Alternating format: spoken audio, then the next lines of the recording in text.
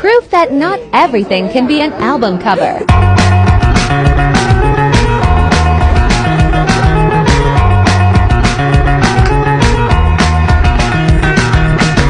Before I die, I'd like to do something nice.